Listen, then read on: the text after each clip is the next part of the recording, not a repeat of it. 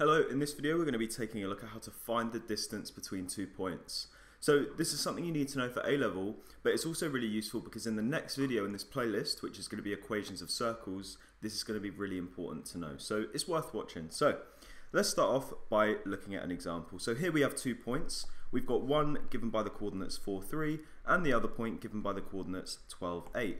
And so we want to find the distance between them. So by that I just mean if I was to draw a line directly connecting the two, like so, how long is that line? And at the minute I don't know, so I'm just going to give it some distance and I'll call it d, right? And we're going to try and work out what d is equal to. So how do we do it? Well, it's actually really easy and there's no new maths involved. In fact, we're just going to use Pythagoras. And so the first thing I'm going to do is construct a right angled triangle. And I'm going to do that by drawing a line going straight down like this and another one that goes across like this. And you can see here, this is my right angle triangle. So if I could find the two missing side lengths, I'll call them x and y for now, I could say that x squared plus y squared is equal to d squared. And therefore that would then, I could rearrange and find the value of d, right? Which is what we want. So how do we find the values of x and y? Well, it's actually really easy and we'll start off with our value of x. So if I go four units across in the x direction, I get to my sort of first coordinate. I'll do it in green so it's a bit clearer. This one here, okay? And if I go 12 units across in the x-axis, I get to my second coordinate over here.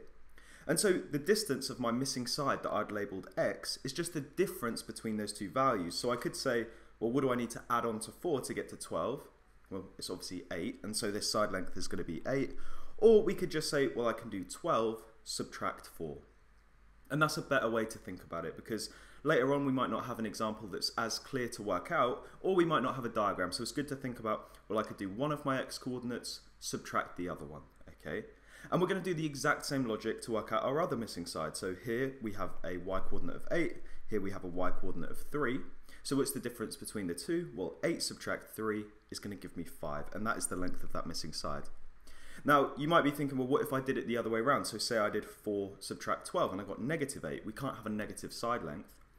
Well, when we do Pythagoras in a second, you'll see we're going to be squaring these numbers. So it doesn't really matter if they're positive or negative because when we square them, they're going to all come out positive, which is what we want for a length. So let's now use Pythagoras and calculate our missing side. So we can do 5 squared plus 8 squared and say that's equal to our d squared. And so we could square root both sides and we're going to get the square root of 5 squared plus 8 squared is equal to our missing side length d.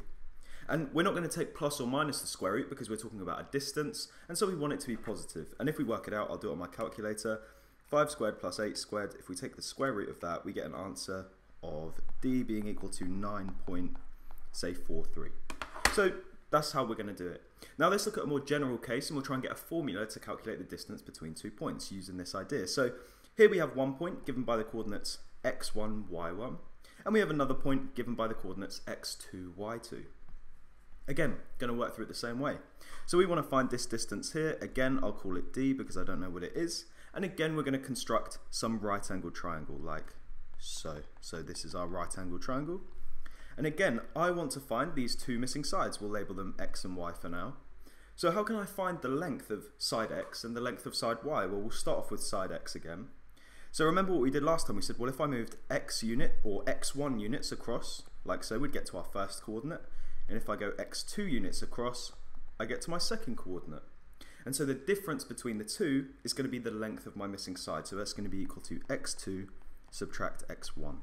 And we can apply the same logic again to find our other missing side and we'd get that that's equal to y2 subtract y1. So now let's just do the process we did before. So I'm going to do my x2 minus x1 squared, whoops, I didn't mean 1, I mean x1 squared, plus my y2 minus y1 squared, and I'm going to say that's equal to my missing side d squared, which is the distance between my two points. Now I'm going to square root both sides, and we get the square root of x2 minus x1 all squared, plus y2 minus y1 all squared is equal to the distance between our two points. And this is the formula, I can put a red box around it, this is the formula that we can use to find the distance between two coordinates and hopefully it makes sense where it's coming from.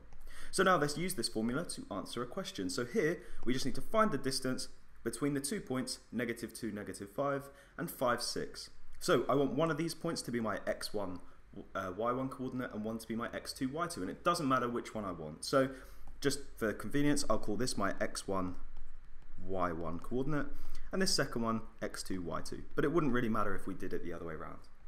Let's now put everything into our formula. So the distance between them is equal to the positive square root of my x2, which is 5, minus my x1, which is negative 2, and that's all squared. Then we're going to add on to that my y2, which is 6, subtract my y1, which is negative 5, and that's all squared. And we're going to take the square root of all of that.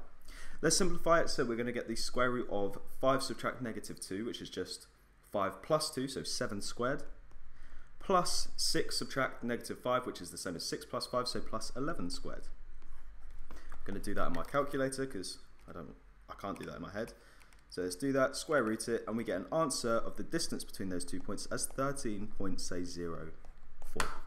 So hopefully this video was useful. If it was, like, subscribe and share. I'll link the rest of my Preparing for A-Level Maths playlist in the description if you want to watch that. And if you've finished it, you can go over to my YouTube channel where I've got tons of A-Level Maths tutorials. Thanks for watching.